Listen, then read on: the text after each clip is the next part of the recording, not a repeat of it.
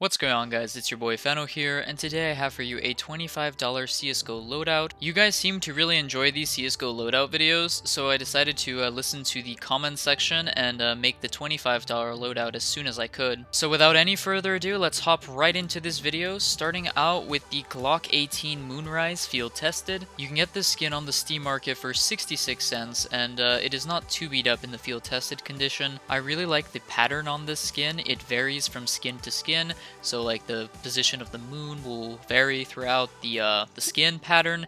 But um, overall, I really enjoy this skin, and I hope you guys do as well. But if the Moonrise isn't your favorite, then you can always opt for a Glock 18 Weasel, field tested, or battle scarred, whatever you can find. It's a slightly cheaper alternative, and I think it is a good replacement. But moving on, we have the USP-S Lead Conduit Battle Scarred, which costs 75 cents. I personally think it's the best USP-S skin for under a dollar. Let me know what you guys think in the comments section below. But if you prefer to use the P2000, that's okay. You can always opt for a handgun minimal wear, which costs around 70 cents. It looks arguably better than the lead conduit, and it is 5 cents cheaper. Next up we have the dual Berettas Royal Consorts Minimal Wear. I got this skin from the Steam market for 53 cents, and I personally have never owned one before. This is the first time I've ever used this skin, and I must say, uh, it looks pretty clean, and I decided to go with the minimal wear because it looks brighter than the other conditions. I really do like my bright skins. But moving on, we have a P250 Sand Dune Battle Scarred, which costs 24 cents. The Sand Dune is the best P250 skin in the game. You guys don't need any other skin. It's 2019, and if you don't own a P250 Sand Dune, then what's wrong with you? No, but in all honesty, this skin is amazing, but unfortunately it is not included in this loadout, unless you really want to. But uh, the skin that I decided to go with is a P250 Crimson Kimono Minimal Wear instead. This skin costs 64 cents on the Steam market, and in the minimal wear flavor, it looks really good. Uh, it is not too worn out, at least on this side. Nobody gets to see the other side anyways, so you might as well go for the minimal wear. The lower the float, the better. For our CZ75 auto skin, I have a red Astor Battle Scarred, which costs 41 cents. The Battle Scarred flavor is going to be darker than the other conditions, but that's about it. If you want a slightly brighter version of this skin, you're going to have to purchase at least the minimal wear. That is if you really want to see noticeable changes. However, in my personal opinion, the Battle Scarred will do just as fine. For our 5.7 skin, I decided to go with the Urban Hazard Factory New, which I got for 51 cents. For the price, I think it's a pretty solid skin, and I think it's just a cheaper looking candy apple. For our Tec-9 skin, I decided to go with the Bamboo Forest Factory New, which I also got for 51 cents. However, next up we have the Desert Eagle Bronze Deco Factory New, which costs 66 cents on the Steam market, and it is by far the best Desert Eagle skin for under a dollar. It's the cleanest looking skin for under a dollar for sure, and um, I don't know, I really do enjoy the skin. I've uh, showcased it in previous videos for you guys, and I just cannot get enough of this skin. However, if you prefer to use the R8 revolver, I recommend going with the Amber Fade Factory New, which costs around 73 cents. Moving on to the rifles, I have for you an AK-47 Cartel Field Tested. I got this skin from the Steam market for $4.57. I think it was a pretty good bargain. If you're tired of elite builds and uncharted skins, or even the Emerald Pinstripe, then this is a great skin for you. While you could say that it looks really similar to the default AK-47 skin, I beg to differ. The pattern on it definitely makes the default AK-47 skin look dull, so I highly recommend you guys check out this awesome skin. Moving on, we have an M4A4 Griffin field tested. It costs around $2.50 on the Steam market, and uh, it's a pretty cheap skin considering the uh, unique pattern to it. This skin has quite the history behind it, and while I could go on and on about it and give you guys a history lesson, I'd rather save that for another time. Right now, all you need to know is that this skin costs around the key, and it's definitely one of the nicer M4 skins for under $5. For the M4A1S, I recommend going with the leaded glass minimal wear, which costs around $4.68. Uh, you can also experiment with the field tested or well worn versions of this skin, which will probably be cheaper, uh, but they will not be as bright, so keep that in mind. I like the brightness of this skin and I think it really makes it pop and it looks good.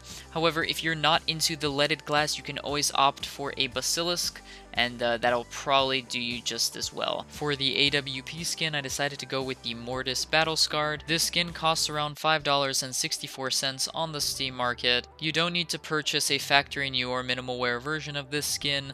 Uh, I think for the money and for the appearance, the Battle Scarred will do just as fine. This is definitely one of the best cheap op skins in the game. For our SSG08 skin, I decided to go with the Acid Fade Factory New, which costs 55 cents and is a very clean looking skin. But moving on, we have the Galil AR Blue Titanium Factory New, which costs 48 cents on the Steam market. Not too many people have really heard about this skin or used this skin in general. I believe this skin was first introduced in 2013 as part of the esports 2013 winter collection. So it is a pretty old skin and not too many people have heard about it. So if you want to impress your friends with a very nice looking cheap Galil skin, then this is definitely the skin to go with. For the FAMAS skin, I have to go with the Survivor Z Field Tested, which costs around 38 cents. I know I have been recycling this skin a lot in previous loadouts. However, I do think it is the best looking cheap FAMAS skin in the game for under a dollar. If I had more money to spend, I could probably upgrade to a nice Valence. However, they all cost over a dollar and I want to save my money for elsewhere.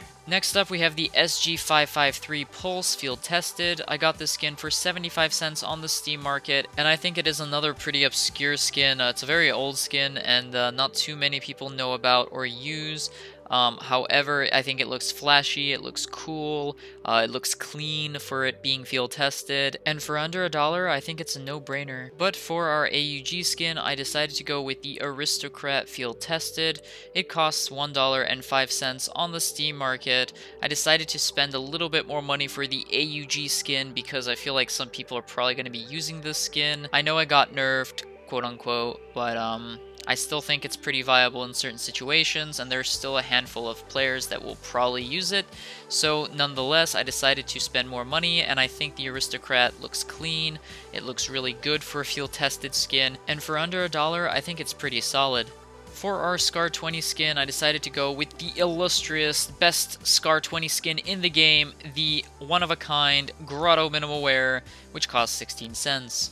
And for the G3SG1 skin, I decided to go with the Polar Camo Factory New. It only costs 15 cents for the Factory New flavor, and it's a very nice looking skin, very clean. Uh, it almost reminds me of a Winter Forest skin, however, it does not have blue in it, which isn't too big of an issue, and if you're going to use this skin, you might as well do it in style, so I definitely recommend you guys check out this skin.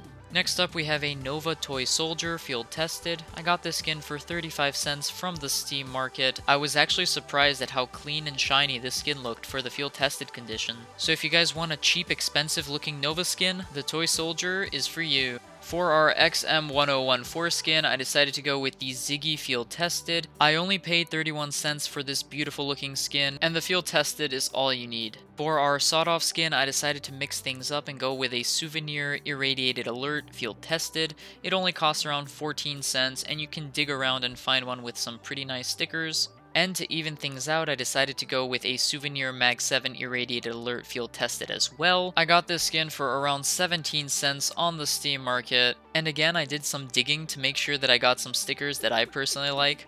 Always check the stickers, guys. Always. There are actually people that scrape them. Who scrapes an iBUYPOWER gold sticker? But anyways, that's enough of my rant. For the Negev skin, I have a Manowar Minimal Wear. It only costs 13 cents, and I've repeated the skin over and over again. But I promise you that it is the best, cheap, good-looking Negev skin for 13 cents in the game, so look no further. And the M249 Spectre Field tested for 11 cents is also a great option. The M249 doesn't have very good skins on it, but this one is probably one of the best. Moving on to the SMGs, I have for you a MAC-10 Calf skin Battle Scarred. This skin only costs 15 cents, and I decided to go with a Battle Scar just to mix things up a bit. This one is actually pretty beat up, but I certainly don't mind. I like beat up skins, that's just me. The lower the float, the brighter and cleaner this skin will look, so make sure you guys take a look at the skin's float before purchasing. For the MP7 skin, I decided to go with the Armor Core Minimal Wear. I have used this skin in previous loadouts in the past, but if you guys have an alternative, I would love to hear it. For our MP5 skin, I decided to mix things up a bit and go for the Gauss Well Worn. This skin costs 39 cents from the Steam market and is part of the new Prisma case collection, so its price is subject subject to change, however I do think it looks better than the Dirt Drop and Lab Rats that I have been touting for in all of my previous loadout videos. For our P90 skin I decided to go with the Grim Field Tested which only costs 19 cents. And for the PP Bison, I decided to go with the Chemical Green Well Worn, which only costs 15 cents. And I honestly think the wear on it makes it look more authentic and cool. For the UMP45 skin, I decided to go with the Mudder Field Tested. It only costs 4 cents. Yes, you heard that right, I'm going with a Mudder Field Tested that only costs 4 cents. Please don't judge me. But in all seriousness, guys, I think the Mudder Field Tested looks pretty clean, especially if you can find one with a low float like this one. And for only 4 cents, this was quite the steal. Last but certainly not least, we have the MP9 BioLeak Factory New. It only costs 13 cents, and uh, for a Factory new skin. I think it looks solid. It looks very clean. If you're going to own a BioLeak, it might as well be factory new. So there you have it guys. That was my $25 CSGO loadout video. Let me know what you guys thought of this loadout in the comments section below. What were your favorite skins? Do you own any of these skins? I would love to know. And as always guys, if you like this video, please give it a big thumbs up to show your support. Also, if you'd like to be notified of future videos, giveaways, and more, hit the subscribe button below. So until next time, this is Fano, signing out.